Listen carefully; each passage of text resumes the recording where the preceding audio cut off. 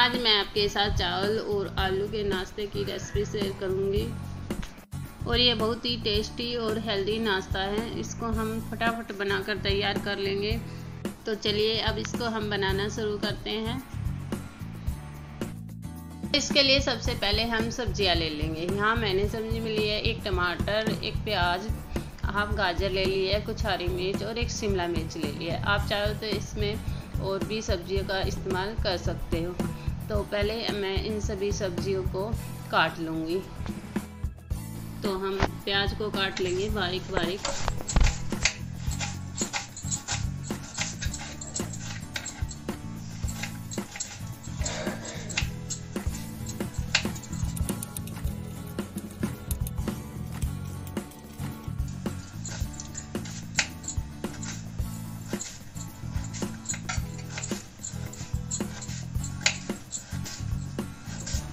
तो देखिए, सारी सब्ज़ी को हमने काट लिया है। अब मैंने यहाँ चार आलू ले लिए हैं और इनको मैंने उबाल लिया था। अब इनको हम छील लेंगे पहले। ये देखिए, आलू भी हमने छील लिए हैं। अब मैंने यहाँ एक कटोरी चावल दो तीन घंटे पहले भिगो कर रख दिए थे, ये देखिए। ये अब अच्छे से ये भीग गए हैं। अब मैं इनका पानी निकाल लूँगी। ये देखिए, इनका मैंने पानी निकाल लिया है। देखिए अच्छे से ये भीग गए हैं। अब हम एक मिक्सी जार ले लेंगे और उनमें इन चावलों को डाल देंगे मिक्सी जार में और इसका पानी हम निकाल लेंगे और फिर इसके अंदर डाल देंगे। ये देखिए, सारे चावल मैंने इसके अंदर डाल दिए हैं। अब जो आलू हमने उबाल कर छिलके रखे थे, वो भी इसके अंदर डाल देंगे। और सात आठ मैंने लहसुन की कलियों को देखिए बारीक काट कर इसके अंदर डाल दिया। अब मैं इसमें पानी डाल दूँगी डेढ़ कटोरी। फिर इसका हम एक बारीक पेस्ट बना लेंगे, ये देखिए। ऐसे बिल्कुल बारीक स्मूथ साइज़ का हमें एक पेस्ट बनाकर तैयार कर लेना है। ये देखिए, बिल्कुल भी कुछ भी इसके अंदर नहीं रहना चाहिए, बिल्कुल दरदरा भी नहीं होना चाहिए स्मूथ सा ये पेस्ट होना चाहिए। तो मैंने इसको अच्छे से पीस लिया है। अब यहाँ मैंने एक बर्तन ले लिया है और जो ये पेस्ट हमने बनाया था, ये इसके अंदर हम निकाल लेंगे। देखिए, सारा पेस्ट हमने इसके अंदर निकाल लिया है। तो ये देखिए, हमारा पेस्ट ये देखिए, मैं आपको चम्मच से दिखा रही हूँ। ये देखिए, ऐसे इतना हमारा गाढ़ा पेस्ट होना चाहिए, ज़्यादा गाढ़ा भी नहीं होना चाहिए। तो इतना गाढ़ा ये पेस्ट होना चाहिए। अब इसमें हम डाल देंगे बारीक कटी हुई प्याज। बारीक कटी हुई शिमला मिर्च। बारीक कटी हुई गाजर। बारीक कटी हुई हरी मिर्च। और बारीक कटे हुए टमाटर इसके अंदर हम डाल देंगे। अब इसमें हम डालेंगे थोड़ा सा जीरा। हाफ़ चम्मच से भी कम इसमें हम जीरा डाल देंगे। हाफ़ चम्मच से भी कम इसमें मैं काली मिर्च का पाउडर डाल दूँगी। थोड़ा सा इसमें हम काला नमक डाल देंगे और थोड़ा सा इसमें हम वाइट वाला नमक डाल देंगे।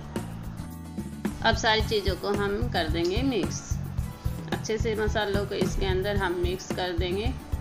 और देखिए, हमारा बैटर ज़्यादा गाढ़ा नहीं है। ये देखिए, ऐसे हमें बैटर रखना है। तो मैंने सारी चीज़ों को अच्छे से इसमें मिक्स कर दिया है। अब इसमें मैं थोड़ा सा हरा धनिया डाल दूँगी, बारीक कटा हुआ, और उसको भी इसके अंदर अच्छे से हम मिक्स कर देंगे। अब इसमें मैं हाफ़ चम्मच से थोड़ा कम बेकिंग सोडा डाल दूँगी,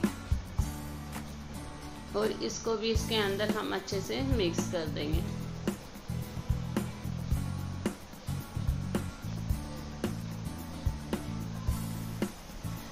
अब ये देखिए बेकिंग सोडे को इस भी इसके अंदर मैंने अच्छे से मिक्स कर दिया है।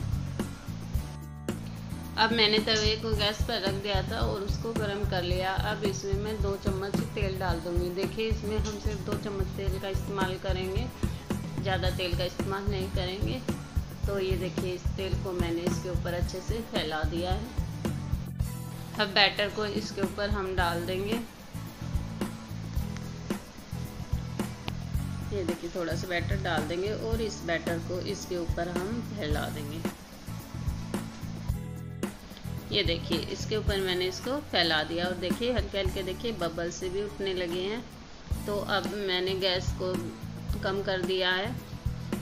ज़्यादा तेज़ नहीं करना है तो गैस को मैंने यहाँ पे कम कर दिया है। अब ये देखिए, एक तरफ़ से पकने लगा है तो मैं इसके ऊपर प्लेट रख दूँगी। तो इसको एक दो मिनट के लिए ऐसे ढककर हम रख देंगे। अब एक से दो मिनट इसको ढके हुए हो गई है। अब हम ढक्कन हटाकर देख लेंगे। इसमें से ढक्कन हटा देंगे और ये देखिए, हमारा ये अच्छे से अब पक गया है। अब इसको हम पलट लेंगे और दूसरी तरफ़ से भी थोड़ा सा पका लेंगे। ये देखिए, पलट गया। अब इसको हल्का हल्का दबाकर दूसरी तरफ़ से भी पका लेंगे। अब इसको हम ढकेंगे नहीं, ऐसे ही थोड़ा सा पका लेंगे, क्योंकि अब ये अच्छे से पक चुका है। बस हल्का हल्का दूसरी तरफ़ से कच्चा है तो उसको ऐसे ही हम पका लेंगे। अब इसको हम पलट देंगे। ये देखिए, दूसरी तरफ़ से भी अब ये पक गया। ये देखिए, अब इसको हम उतार लेंगे। अब देखिए, एक हमने बना लिया है। ऐसे ही हम सारे बनाकर तैयार करेंगे। थोड़ा सा इसके ऊपर हम बैटर डालेंगे, तेल डालकर, और ऐसे उसको हम फैला देंगे और एक दो मिनट ढककर पका लेंगे और फिर उसको दूसरी तरफ़ से भी ऐसे ही पका लेंगे। तो सारे ऐसे ही हम बनाकर तैयार कर लेते हैं पहले। अब ऐसे ही हम सबको पका लेंगे। और ये देखिए, हमारे सारे बनकर अब ये तैयार हो गए हैं। इसको भी हम उतार लेंगे। तो दोस्तों, आपको मेरी रेसिपी कैसी लगी? अगर अच्छी लगी तो लाइक ज़रूर कीजिए और कमेंट करके भी बताइए कि आपको ये कैसी लगी। और अगर आपने मेरा चैनल सब्सक्राइब नहीं किया तो प्लीज़ सब्सक्राइब भी कर लीजिए और लाइक भी कीजिए और शेयर भी कीजिए। तो ये देखिए, हमारी रेसिपी बनकर तैयार हो गई और ये बहुत ही टेस्टी रेसिपी बनती है और ये बहुत ही हेल्दी है। तो आप इसको सुबह के नाश्ते में बनाकर खा सकते हो, बहुत ही टेस्टी लगती है। तो ज़रूर एक बार इसको बनाकर देखना, आपको भी पसंद आएगी और इसको बनाने में हमें कुछ ज़्यादा टाइम भी नहीं लगता है, फटाफट से ये बन जाती है। तो ज़रूर एक इसको बनाकर देखना, बहुत ही टेस्टी बनती है। और अगर आपको ये वीडियो अच्छी लगी तो चैनल को सब्सक्राइब कीजिए लाइक कीजिए और शेयर कीजिए।